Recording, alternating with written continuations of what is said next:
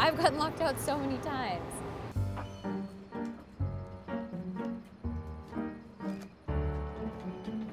How many times a day do someone walk through the door and say, I've been locked out? Two, three times a day. How often do you get locked out? Has it happened?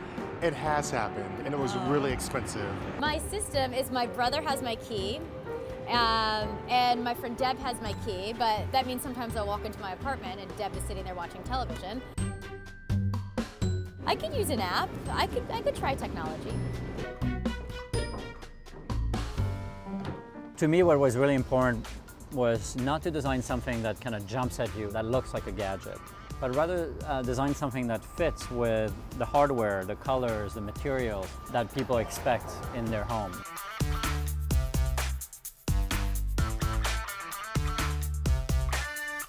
It, it, happens to all of us at some point, right? You leave your keys at the office, you leave them at a friend's house, you drop them in the seat of a taxi. So two million people a year have to find a way to get into their house. What are the scenarios and how it works with the app? Can you just walk us through it?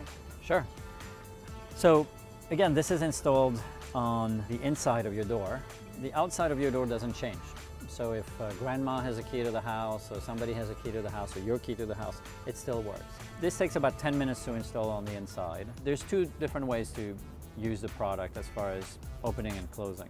One is manually. I can pull my phone out and connect to the lock and lock and unlock the door. The other one is by setting up auto unlock. The lock will sort of sense me coming Another exciting feature is the fact that you can send a key to somebody virtually. You can just go to your phone book and you say, here's a key for you to come in. And that's the only time that key is going to function. What do you say to those people that say, I'm just not sure if I'm secure or if this is safe? Security is our highest priority, right? Right now, if you give a key to somebody, a copy can be made. You never know if a copy was made. Uh, you have to get that key back. So electronically, you know, you give a key, you can revoke it at any time. Now, in regards to it, can it be hacked? Um, so three things. Number one, Bluetooth has an encryption layer of its own. And then on top of that, August created our own. But even if you cracked both of those security levels, got to the third, we have this code mechanism in which only one code is used each time.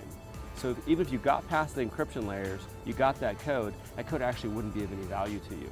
It was just that one time. But that was an expensive I mean, that was time. enough, right? I mean, that was enough. 200 bucks is enough. That was enough for me to be like, I'm never going to this again.